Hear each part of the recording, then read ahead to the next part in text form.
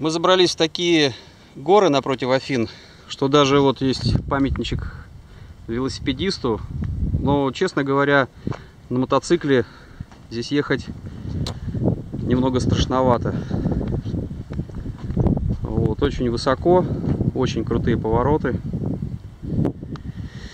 И вот Афины, Акрополь, море.